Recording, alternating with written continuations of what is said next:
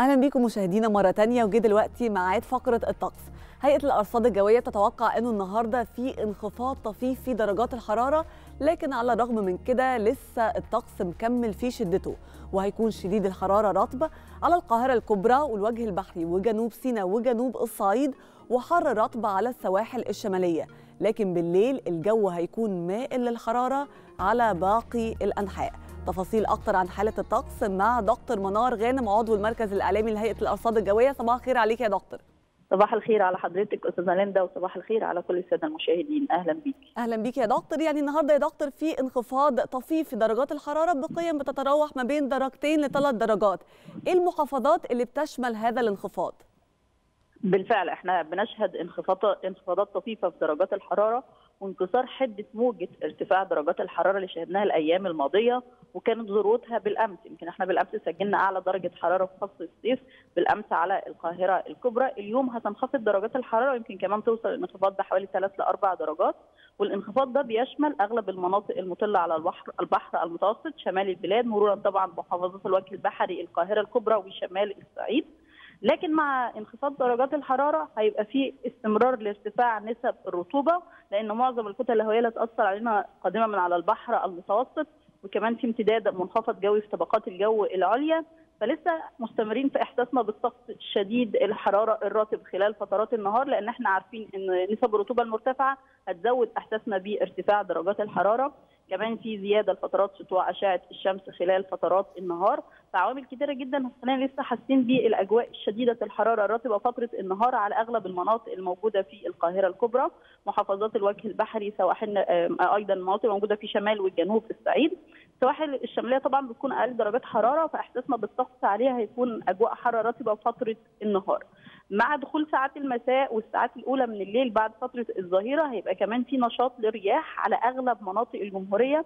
ده هيساعد على عدم الإحساس بنسب الرطوبة المرتفعة فبالتالي هحس كمان بانخفاض درجات الحرارة بإذن الله مع دخول ساعات الليل والساعات المتأخرة من الليل ده بيكون ماكس طبعا ارتفاع نسب الرطوبة فطبعا هنحس بالأجواء المائلة للحرارة الرطبة خلال فترات الليل.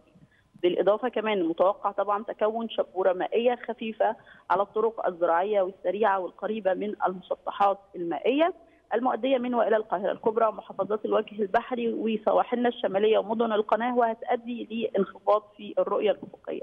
بالإضافة كمان إن اليوم أيضا متوقع يكون في تكاثر للسحب المنخفضة والمتوسطة على المناطق الساحلية المطلة على البحر المتوسط وطبعا هيكون معاها يعني سقوط أمطار وفرص الأمطار هتكون أمطار خفيفة جدا غير مؤثرة تماما على أعمال الأنشطة اليومية لكن طبعا وجود السحب هتساعد على حجم جزء من أشعة الشمس فبالتالي السحب يا دكتور مستمرة معانا لحد إمتى؟ تكاثر السحب والشبورة. يمكن هم تكاثر السحب والشبورة مكملين معانا إن شاء الله غدا وبعد غدا لكن فرص الأمطار هتكون معانا اليوم بإذن الله لكن الشبورة مكملة معانا كمان لمدة 48 ساعة بإذن الله. شكرا يا دكتور. مشاهدينا كانت معانا دكتور منار غانم عضو المركز الإعلامي لهيئة الأرصاد الجوية. دلوقتي خلونا نتعرف على درجات الحرارة المتوقعة والبداية كالعادة هتكون من القاهرة. بتسجل العظمى في القاهرة 35 36 والصغرى بتسجل 25 الإسكندرية العظمى 30 والصغرى بتسجل 25 مرسى مطروح العظمى 29 والصغرى بتسجل 23 سيوة العظمى 37 والصغرى 22 بورسعيد العظمى 31 والصغرى 25 دمياط العظمى 31 والصغرى بتسجل 25 الإسماعيلية العظمى 36 والصغرى بتسجل 25 السويس العظمى 36 والصغرى بتسجل 25 هنروح للعريش العظمى فيها 31 والصغرى بتسجل 24 طابة العظمى 38 والصغرى بتسجل 26 سان كاترين العظمى 33 والصغرى بتسجل 19 شرم الشيخ العظمى 39 والصغرى بتسجل 29 الغردقة العظمى 38 والصغرى بتسجل 28 الفيوم العظمى 36 والصغرى 26 بني سويف العظمى 36 والصغرى كمان 26 المنيا العظمى 36 والصغرى بتسجل 25 هنروح لأسيوط العظمى فيها بتسجل 37 والصغرى 25 سوهاج العظمى 40 والصغرى بتسجل 26 قنا العظمى 41 والصغرى بتسجل 26 الأقصر العظمى 42 والصغرى 27 أسوان العظمى فيها كمان 42 والصغرى بتسجل 28 الوادي الجديد العظمى فيها برضو 42 والصغرى 26 شلاتين العظمى 40 والصغرى 28 وأخيرا حلايب العظمى 36 والصغرى بتسجل 27 دي كانت فقرتنا الجوية مشاهدينا دلوقتي هنرجع لشاذلي وبسنت عشان يكملوا بقية فقرات صباح الخير. يا مصر إليكم.